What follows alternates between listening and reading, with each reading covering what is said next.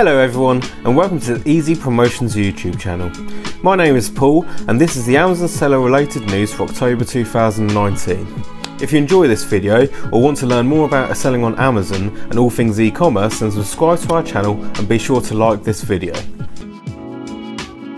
Number 1. Introducing SBA, sold by Amazon. Sold by Amazon was in an invite only testing phase earlier this year and has now become live for US sellers and no doubt the rest of the Amazon network very very soon. So what is SBA? SBA allows third party sellers who sell their products via FBA and are brand registered to allow Amazon complete control over their pricing of their products. Amazon agrees a bottom line profit margin with the seller and then takes control over your pricing ensuring you are always winning the buy box. According to the Amazon Brand Health Index, price competitive is Amazon's number one standard that Amazon uses for performance of brands. The SBA service is aimed at allowing Amazon to always have the cheapest price on your product over companies such as Walmart or your own e-commerce website. The concern for many is that this is yet another way to get sellers hooked on the Amazon platform.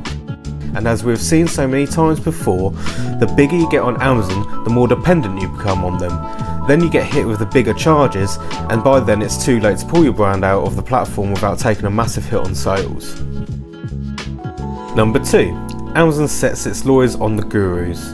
We've all seen their ads on YouTube and Facebook, and many sellers would have been drawn into becoming an Amazon seller by the promise of get rich quick with Amazon, and in my course, I reveal the top secret way to win on Amazon.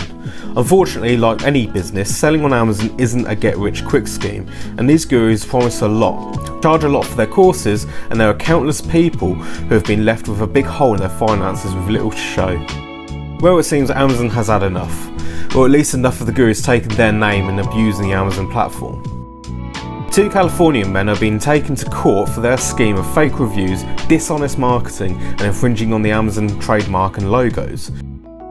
In the court papers served to the two gurus, Amazon said the following Defendants improperly exploit Amazon's name, intellectual property, and reputation to sell their get rich quick scheme to unwitting entrepreneurs around the country.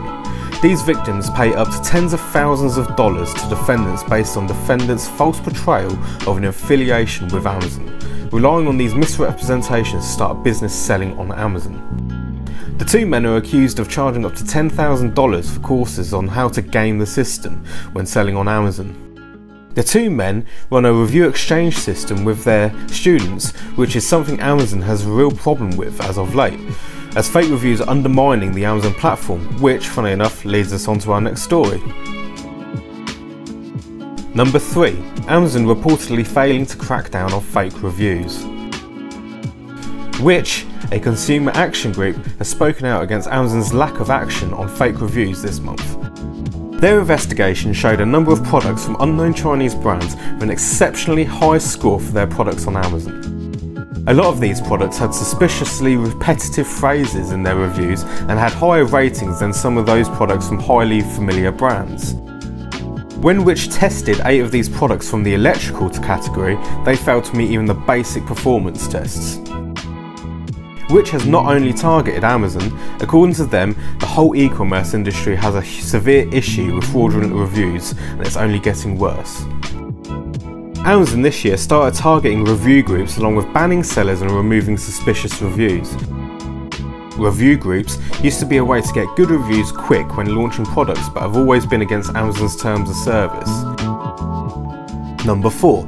Making a profit from self-published blank books on Amazon Kindle.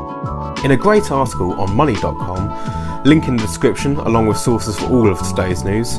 It's revealed how people are selling blank page books such as notebooks and journals under Amazon's Kindle direct publishing platform. Now some of these are print on demand books, such as mazes or puzzle books, and some of these are just downloadable, but there does seem to be money to be made and it is a very novel idea.